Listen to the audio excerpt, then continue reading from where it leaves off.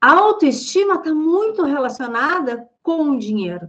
Por quê? Porque a pessoa que. O que é autoestima? Para começar, autoestima não é andar bem bonito, maquiado, em cima do salto, para nós mulheres, né? Não é isso, gente. Isso é o pensar dentro do paradigma daqui da caixinha. Eu acredito que para mim tá bem, eu tenho que estar tá linda e maravilhosa, maquiada e eu tô bem. Não é isso.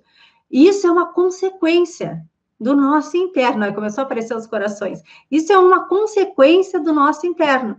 Por quê? Porque a autoestima elevada é quando você desenvolve dentro de você os melhores pensamentos e os melhores sentimentos, quando você expande a sua consciência.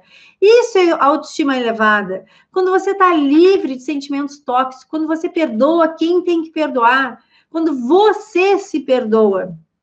Quando você tem um plano definido na sua vida em todas as áreas e quando você sai da zona de conforto para crescer e evoluir, isso é autoestima elevada. O resto, gente, é uma consequência dessa, desse, desse pensamento elevado.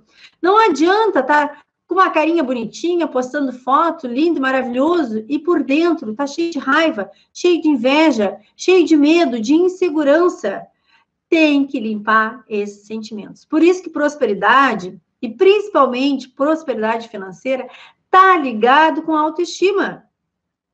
Está ligado totalmente com autoestima. Enquanto a pessoa não se ama, não se aceita, não expande a sua consciência, sai do ego, das limitações do ego, ela não prospera.